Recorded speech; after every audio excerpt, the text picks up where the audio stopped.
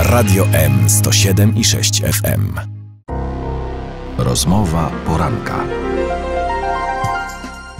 Dominika Szczawińska, witam Państwa bardzo serdecznie w rozmowie poranka. Gościem Radia M jest pani Jadwiga Wiśniewska, poseł do Euro, Europarlamentu. Witam, dzień dobry.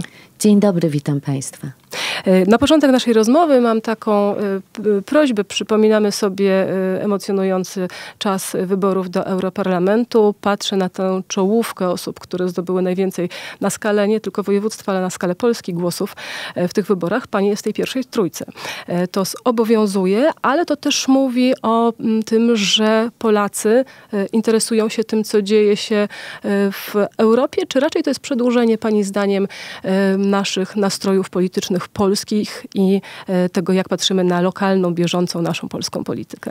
W Polsce są absolutnie nastroje takie proeuropejskie i ta tendencja uwidoczniła się bardzo mocno w tej bardzo wysokiej frekwencji w ostatnich wyborach do Parlamentu Europejskiego.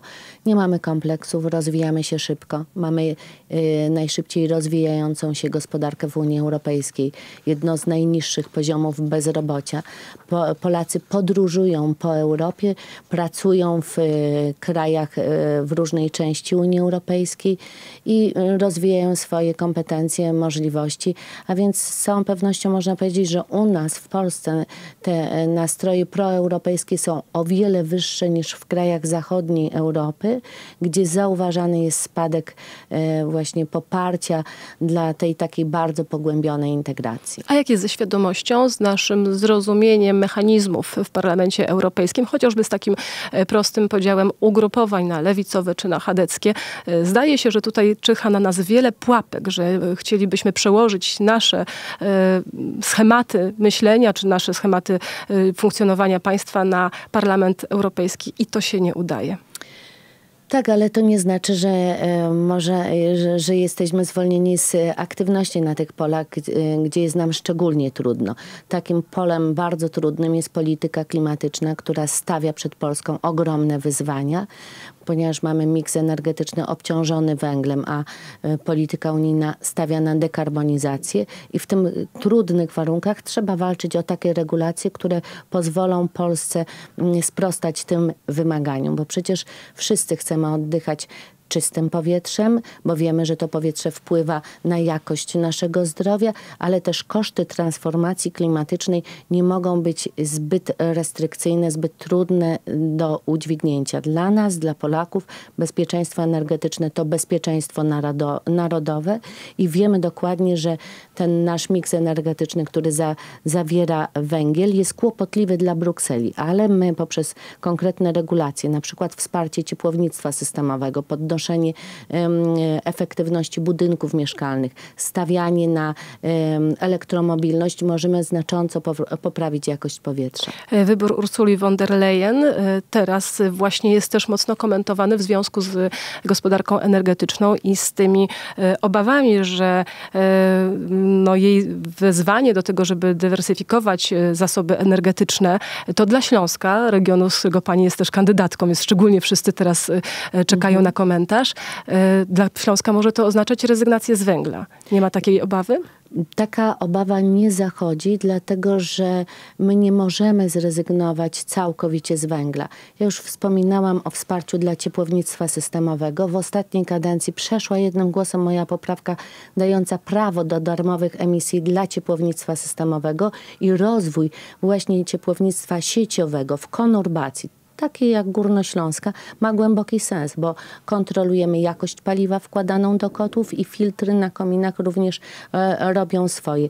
Więc my musimy mieć na uwadze to, że e, również pani Ursula von der Leyen powiedziała bardzo wyraźnie, że państwa ponoszące koszty polityki klimatycznej muszą zostać wsparte przez Fundusz Sprawiedliwej Transformacji. Do tej pory ten fundusz był w takich naprawdę śladowych ilościach. Teraz teraz mają być przyjęte regulacje, które będą kompensowały państwom koszty y, prowadzenia polityki klimatycznej. E, z jednej strony pani y, komentując wybór y, Ursuli von der Leyen mówi, że to jest osoba, która gwarantuje dialog. E, z drugiej strony zrobiło na mnie wrażenie pani wystąpienie sprzed kilku zaledwie dni w Brukseli, kiedy pani mówi, że owszem, Parlament Europejski produkuje apele, ustawy i tak dalej, a sam jest niekonsekwentny i tutaj przykład taki bardzo dający do myślenia, że na trzy dni opuszczają wszyscy pracownicy Brukseli jadąc do Strasburga. Co to ma wspólnego z ekologią i z no, dbaniem o środowisko naturalne? Hipokryzja Parlamentu Europejskiego w ten sposób się objawia? Tak, ona się wręcz można powiedzieć obnaża, bo Parlament Europejski bardzo mocno stawia e, na, na, na te kwestie ekologiczne, na czyste powietrze, poucza wszystkie państwa członkowskie. E, w Unii Europejskiej narasta problem ubóstwa energetyczne, energetycznego, to znaczy, że coraz więcej e, obywateli nie stać na opłacenie rachunków za ogrzewanie czy ciepłą wodę, bo te rachunki są zbyt wysokie, a z drugiej strony parlament właśnie mając siedzibę i w Brukseli i w Strasburgu na te trzy dni w miesiącu podróżuje do Strasburga, czym generuje oczywiście ogromne zanieczyszczenia. Proszę zwrócić uwagę, że do Strasburga e, podróżuje tysiące pracowników, asystentów, wszyscy europosłowie. Koszty e, klimatyczne tych podróży rzeczywiście są bardzo duże. A to Francuzi właśnie są największymi zwolennikami restrykcyjnej polityki hmm. klimatycznej. Hmm. Dlatego zasygnalizowałam w swoim wystąpieniu parlamentarnym, że pora, żebyśmy zaczęli od siebie. Po cóż nam trzy siedziby y, Parlamentu Europejskiego, bo jeszcze dochodzi ta y, praktycznie nieużywana w Strasburgu, ale koszty jej funkcjonowania są również oczywiste. Więc y, trochę brakuje tej polityce unijnej racjonalności i rozsądku. A czy taki apel ma tylko takie retoryczne znaczenie? Czy pani widzi faktycznie szanse jakichś ograniczeń? Czyli na przykład, że nie trzy siedziby, a dwie? No może nie od razu jedna. Jak, jak to wygląda? Ziarno zostało posiane, bo zwróciłam uwagę, że po debacie w, na sali plenarnej potem ten temat był e, mhm. mocniej dyskutowany i podnoszony, bo to jest rzeczywiście absurd. Cały budynek jest utrzymywany, ogromny budynek w Strasburgu, po to, żeby z niego skorzystać przez 3 czy 4 dni w miesiącu. Dla tradycji. To pokazuje mhm. absolutny absurd i zdecydowanie no, trzeba reagować i trzeba pokazywać, że jednak musimy zaczynać od siebie, a potem myśleć o tym, żeby nasze e, postawy były upowszechniane. Chcę też Panią poprosić o komentarz do wyboru, a raczej do niewyboru e, pani Beaty Szydło na e, szefową Komisji do Spraw Zatrudnienia. To przykra sprawa, e, pokazująca zacietrzewienie polityczne mm, socjalistów w Parlamencie Europejskim. Socjaliści poczuli się niezwykle dotknięci tym, że nie było polskiej zgody na to, by Franz Timmermans został, szefe, y, został szefem Komisji Europejskiej. I dlatego też mm, e, była to swoista prowokacja względem Europejskiej Frakcji Konserwatystów i Reformatorów, do której należy Prawo i Sprawiedliwość, bo wedle zasady Donta to miejsce w mm, prezydium komisji przewodniczącej należało się właśnie europejskim konserwatystom i reformatorom. I każda frakcja polityczna ma prawo wskazywać swojego kandydata. Y, socjaliści mm, y, zrobili tego rodzaju prowokacje, że sądzili, że utrącając kandydaturę pani premier Szydło spowodują, że my nie będziemy głosować na y, Ursulę von der Leyen i otworzy się nowa furtka i będzie nowe roz, rozdanie. Socjaliści bardzo dużo mówią o pozycji kobiet, o wspieraniu kobiet, o docenianiu kobiet, a tymczasem, kiedy przychodzi do takiej oto sytuacji, że mogą dać wyraz właśnie wsparcia tych swoich wszystkich haseł, haseł i ideałów, to zachowują się właśnie w taki oto sposób. Pani premier Beata Szydło miała rekordowy wynik do Parlamentu Europejskiego, ponad 520 tysięcy głosów. To bodaj najlepszy wynik w całej Unii Europejskiej. I ci socjaliści, którzy mówią o tolerancji, o wspieraniu kobiet, zachowali się w taki sposób yy, bardzo... Yy, nie chciałabym użyć mocnego słowa, ale niepraworządny. Oni mówią dużo o praworządności. Mało tego, członek socjalistów, pan Robert Biedroń, rozsyłał maile wzywające europosłów do niegłosowania na panią premier Beatę Szydło. To po prostu dowód na to, po pierwsze, że nie czuje się w obowiązku wspierania polskiej kandydatki na ważne stanowisko w komisji parlamentarnej, a po drugie, że wszystkie hasła dotyczące równości kobiet tak właśnie dla socjalistów nie mają żadnego znaczenia. Polskie podziały polityczne, które mm, objawiają się również na e, arenie międzynarodowej, w tym w Parlamencie Europejskim, powodują, że Polska jest o wiele mniej skuteczna, jeżeli chodzi o swoje mm, działanie właśnie w Parlamencie Europejskim. Obserwuje Pani często takie osłabienie mhm. polskich działań. Szczególnie mi teraz by chodziło, żeby powiedzieć choć parę słów na zakończenie naszej rozmowy o tym miejscu, gdzie w Parlamencie Europejskim pracuje się na rzecz kobiet, że tak powiem, Komisja FEM, jak to wygląda. To właśnie, to e, ten proces obniżania e, pozycji Polski zaczął się w poprzedniej kadencji Parlamentu Europejskiego, gdzie e, kiedy to przedstawiciele totalnej opozycji przyjęli sobie za cel realizowanie scenariusza Grzegorza Schetyny, który zapowiedział po przegranych wyborach parlamentarnych w Polsce, że będą realizować wariant ulica i zagranica. W Polsce nie udało im się wyprowadzić ludzi na ulicę, więc zaczął się proces obniżania pozycji Polski na forum europejskim Europejskim. To budziło bardzo duży niesmak posłów z innych państw, bo proszę mi wierzyć, że inne delegacje krajowe w sprawach ważnych, istotnych dla danego państwa członkowskiego występują ramię w ramię.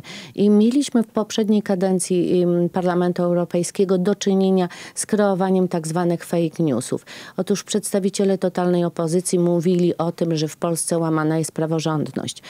Gdybyśmy dziś wyszli na ulicę Katowic, Chorzowa, Zabrza, E, Bielska i zapytali y, obywateli naszego województwa, czy czują, że ich prawa obywatelskie są łamane, czy też praworządność jest łamana, byliby pewnie zdumieni tym pytaniem.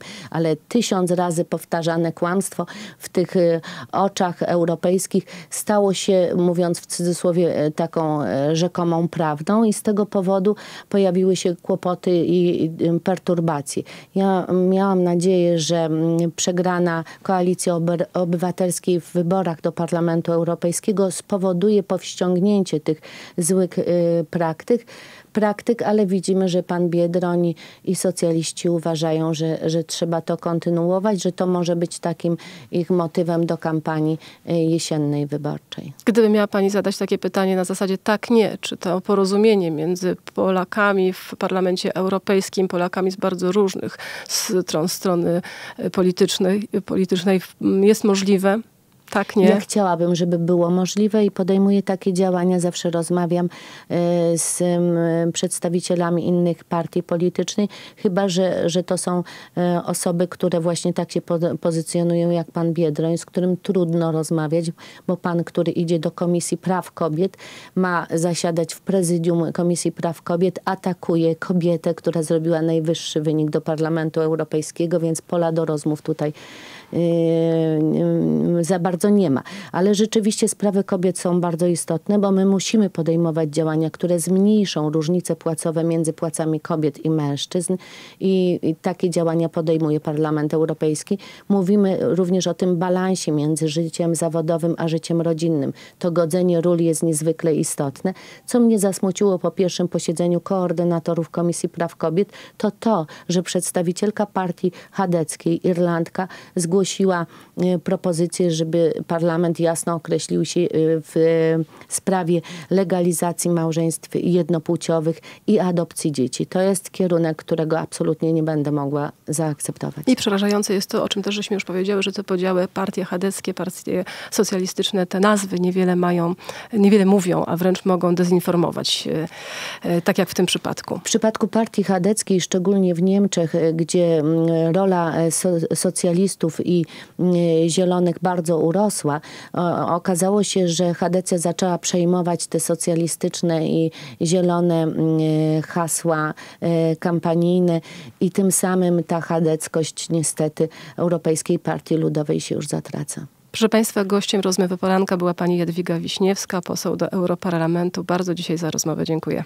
Dziękuję bardzo. Miłego dnia. Rozmowa poranka.